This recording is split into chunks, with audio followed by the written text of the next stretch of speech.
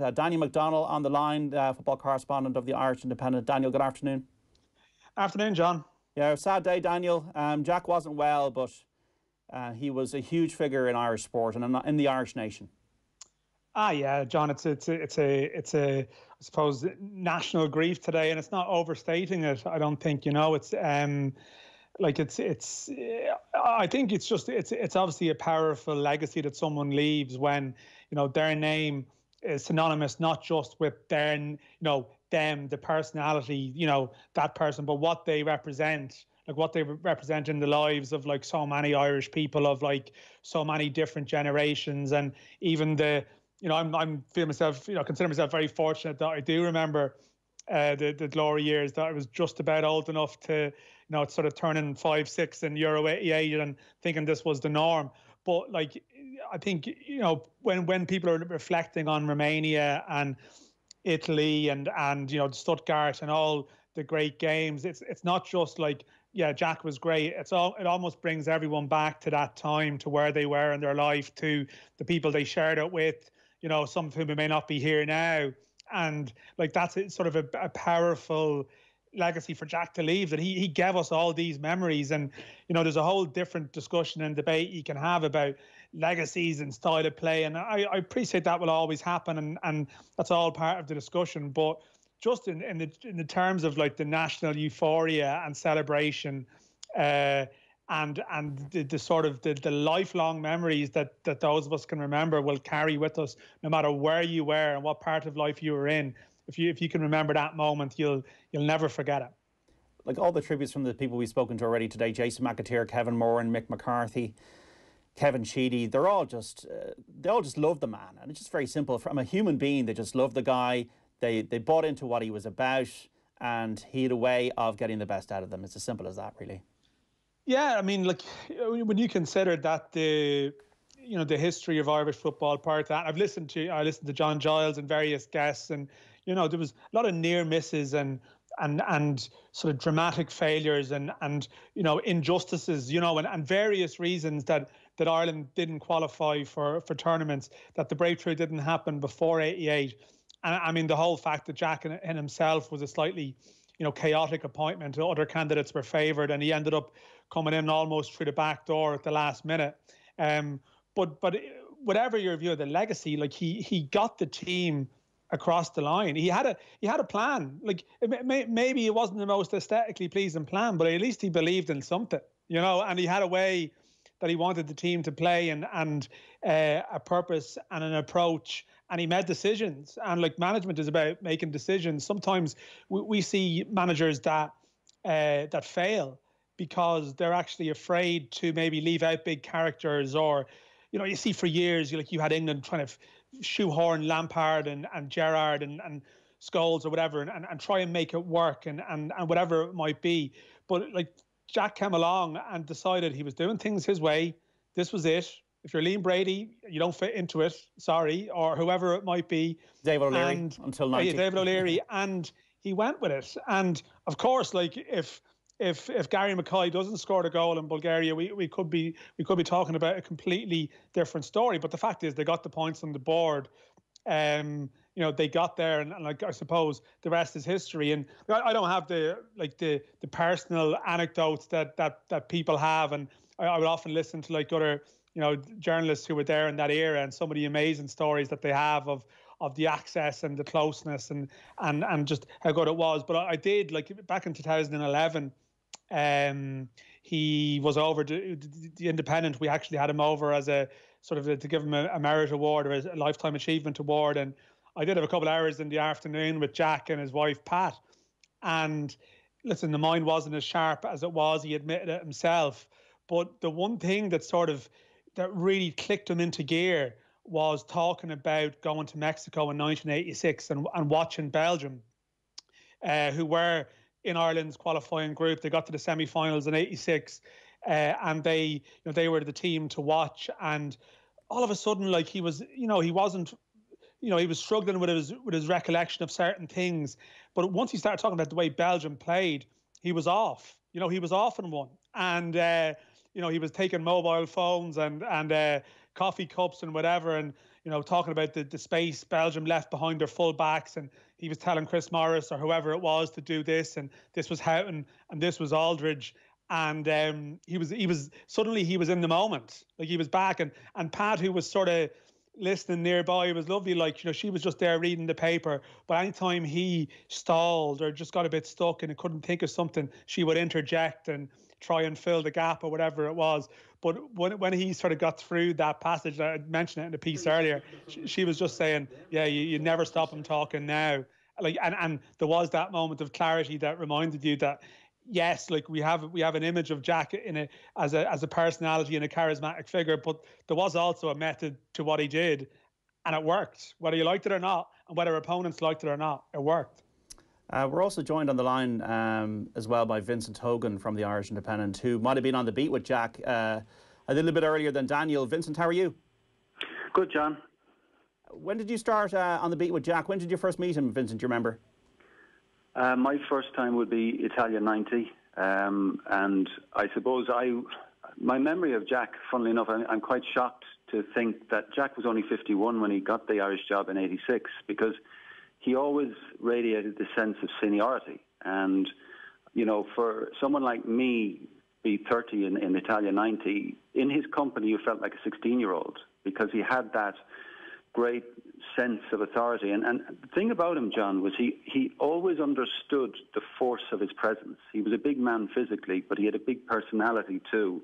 And I think that was the key to his management.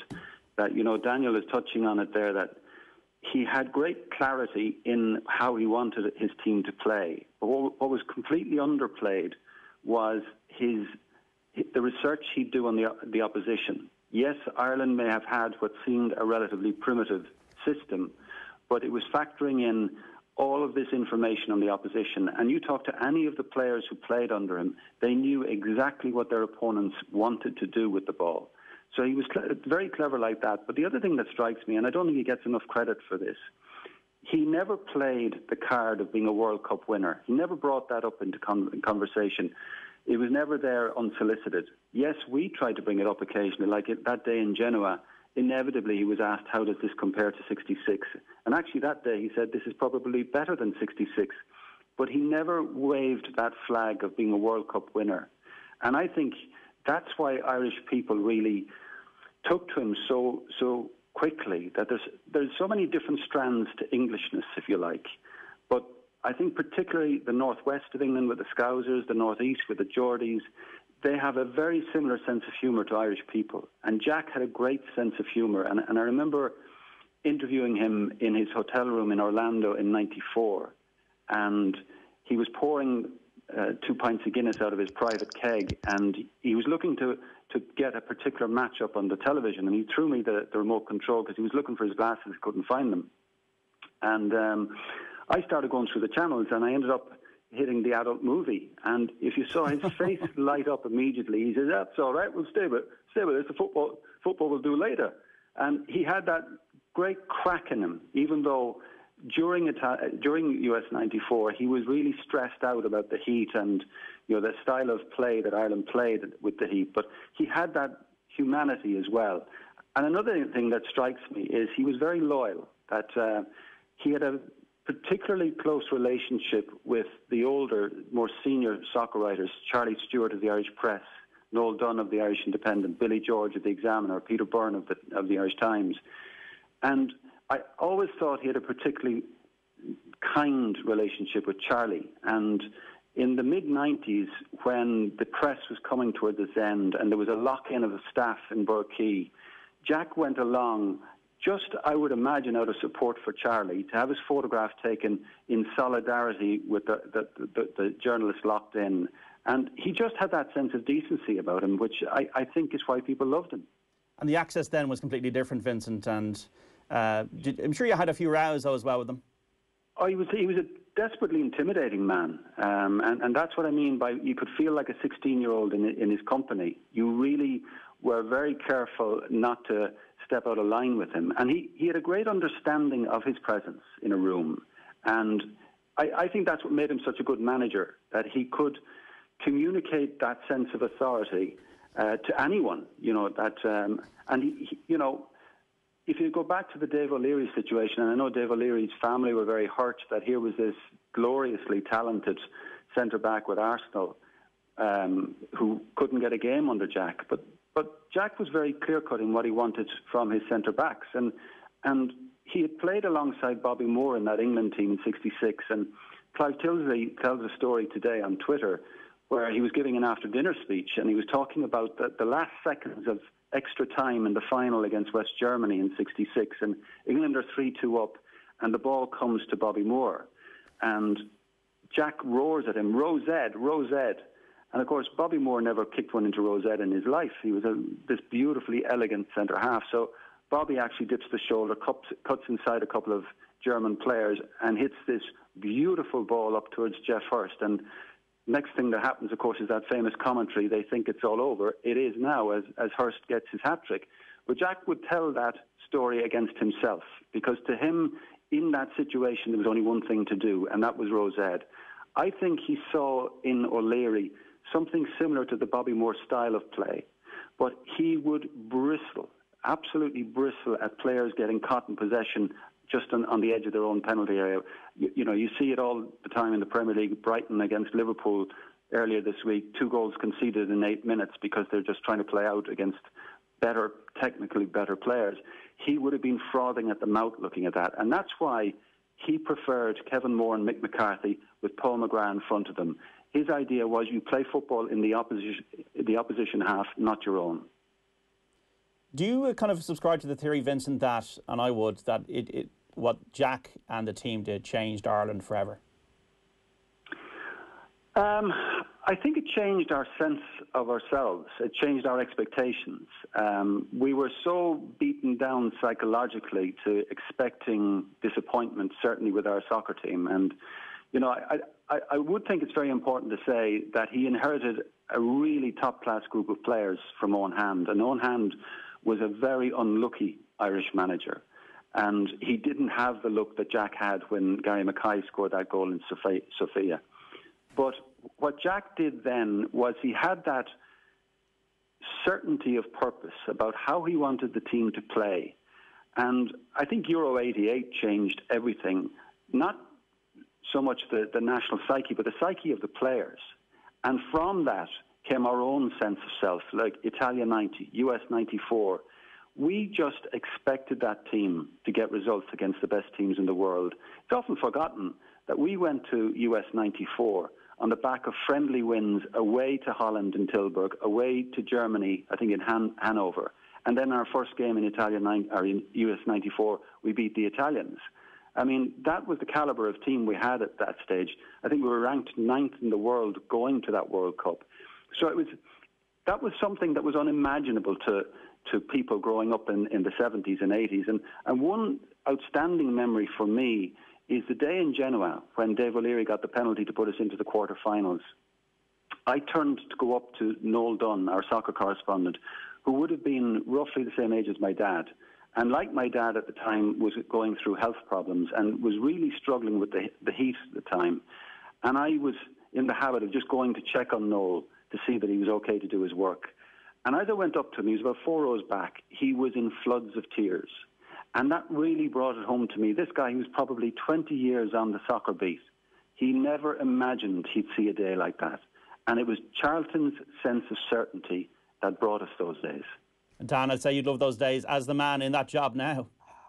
Yeah, no, th- those stories are getting me going now. Like that's that is um that is the power of it. Like you, you know, people obviously remember the um I like I've watched it already today, like the Reeling in the Years clip of like the the the, the grown men in tears. Like as I sort of mentioned it earlier on, like a generation of men who probably weren't used to crying or weren't. It was almost frowned upon maybe to cry in public so openly. I don't know whatever the attitude might have been uh, towards it. And you know, listen, Vincent puts it so well there, and he lived it. He was there. He was through it, and. Uh, I can only imagine. I, I, saw someone make the point earlier on that, like, that actually it's the maybe the generation who saw football in the country before it, you know, appreciate it even more. Whereas I mentioned, like, people around my age who who grew up and all of a sudden we had like three tournaments in six years and this was the norm. Um, oh yeah, of course. Like, we'll never have anything like that again. Like I don't think we ever will because nothing nothing beats the first time, um, and it's very hard to to recreate. Like the the innocence sounds patronising, but uh, you know what I mean. It's it's more the sense of like this was just this was raw and this was natural and like it was unbridled joy. Like the scenes were like scenes people hadn't experienced. And again, listen, I'm not best placed to talk about it, but obviously, you know, Ireland in the 80s had its problems. And, you know, you talk to people, I think it's Declan Lynch has the book about Italia 90 and yeah, we're going to have him on the show. Yeah, yeah, like you know, I, I don't know, like how how far you go with it in terms of what role it played and what, what happened afterwards for the country. But certainly, it made everyone stand tall and proud, I guess. And uh, yeah, you you know, you you'd, you'd love to think that we will have days like that again. Um, and I you know I really hope that we do. Um, but it'll always be different. You know, where where where it's a bit more cynical and and we're a bit more aware of our surroundings now that I'm not sure if we'll ever lose ourselves like we did in that moment. And, you know, for, for that, you know, generation, that older generation from a more, maybe more conservative Ireland and from a very, you know, who, who, who'd lived through some pretty challenging times and away from just football, but in, in life or whatever, to, to have that moment must have been the outpouring of emotion. Like we're watching it as kids, wondering why you know getting into it, but wondering why everyone is so emotional almost. Um, and you get it now, and you're so grateful now that you actually you were able to to see it. But I can only imagine what it was like to really to really feel it, having uh, having maybe lived through some of the darker days beforehand. And 25 years uh, of age and younger won't remember it, Vincent. You then travelled to USA 94. I mean, the giant stadium. Th- these things must be just in your DNA, just even as a as a reporter for the rest of your life. Oh, big time, John. Uh, and, and the thing that struck me was he, he had this really sincere, genuine connection with the supporters, and he took really serious pride in the conduct of the Irish supporters, that they could go in their thousands and spend the days drinking and, and never cause trouble. And what's often forgotten is the day of the famous win in the Giant Stadium, and we're all jumping around celebrating. Jack is actually running on the pitch to remonstrate with um, two uh, U.S. police, New Jersey policemen who have pinned two Irish supporters to the ground because they've run onto the pitch celebrating. And you know, New Jersey police were not familiar with that kind of scenario of people running on a pitch celebrating. So they're they're pinned to the ground face first, and one of them is bleeding from the face. And Jack was absolutely outraged by this. And, and, you know, in that moment of arguably his greatest triumph, that was what he was doing. He was, he was remonstrating with them to, to go easy on the supporters, that they were just celebrating. But he was, he just had that bond. You know, it's, it's, I was just watching some, a, a, clip on um, Twitter earlier, and, you know, it, it goes back to the BBC Personality of the Year program, where his his brother Bobby is getting an all-time achievement award, and and they get Jack to present it, and there's a great sense of melancholy to that because, of course, they didn't talk for years. And there's this kind of moment of reunion between himself and Bobby. And, and he, he just, he looks at the trophy and he says, Bobby is the greatest player I've ever seen, and he's my brother. And you can see the emotion welling up in, in Bobby Charlton at that moment. So there was a sadness in him as well that so many years went by where he didn't talk to his brother. That is a very touching and uh, tough day for Bobby today, um, Vincent. Were you at Anfield, Vincent, in '95? Yeah, I was. Yeah. I was. And you're a Liverpool fan, so like a, a, for a lot of reasons, that must have been an, an, incredible night. Yeah, it was an incredible night, but it was also you just knew the game the end, was up. Yeah, the end. Really, yeah. um, I, I think I'm right in saying, John, that that night we started with something like seven defenders in the team. It was a very lopsided team. That the, the, the great years had basically begun to dissipate, and, and Jack's personality. I, I, I, think it began to dissipate with him, and there was, you know, you, you, could sense the sadness of it. That we, I think we all knew that night at Anfield, the Dutch were way too good for us, and we, we all knew when he waved to the crowd at the end of that game that it was probably the end, and he, and he, he went after that before he was pushed, and that was the sadness that you, you could tell he had probably lost it in, in, in the sense of the magic he had brought for 10 years. It, it was gone at that stage, but it was gone largely because the team was gone. Yeah. Is he a bit like Brian Clough, Vincent? Uh, like, is it, can a Jack work now? Do you think uh, that kind of manager?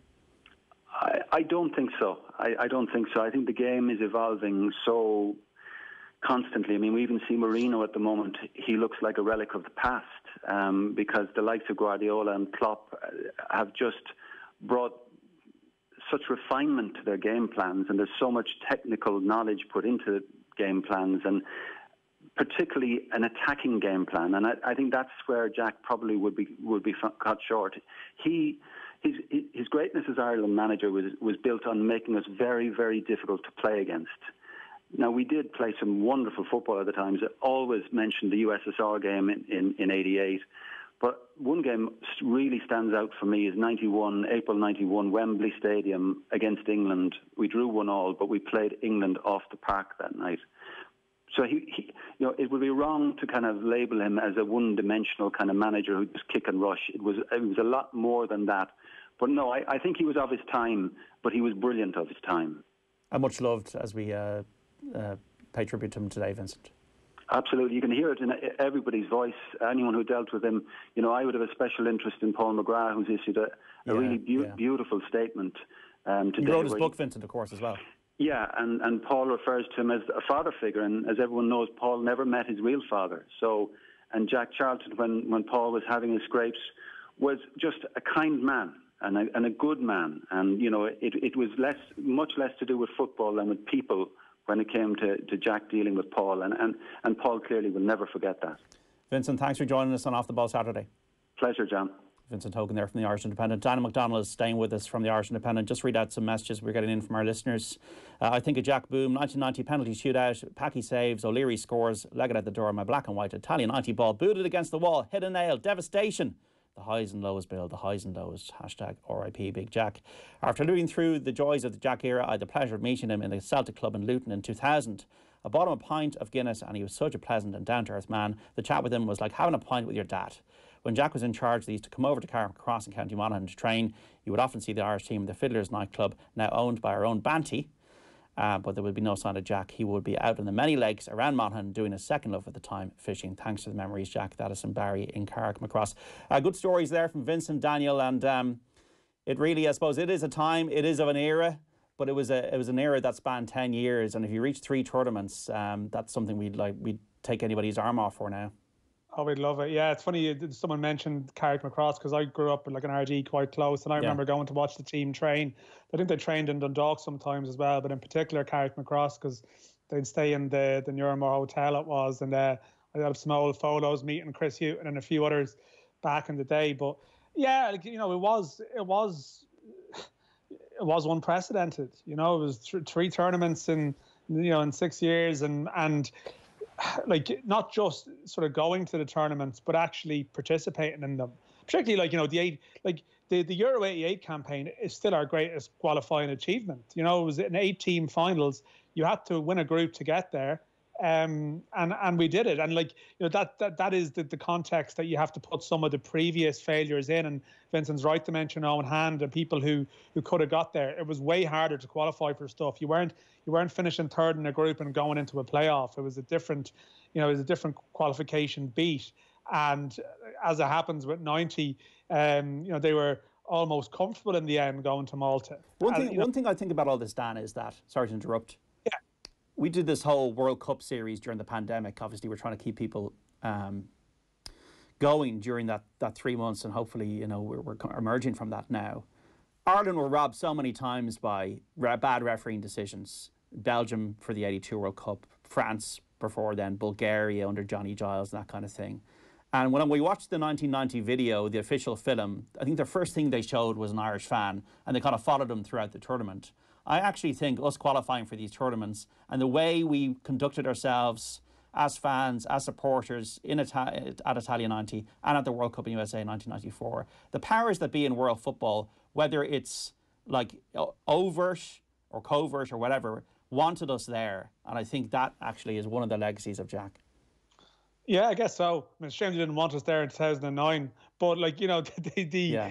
the, the, uh, like it is, it is true. Like it is true. I mean, I, I know that sometimes elements of the fan stuff can still be overplayed. Like there is no doubt, and we've we see it with some of the viral videos in the you know in the Euros and let's serenade some nuns and whatnot. I get that. Like that's not for everyone.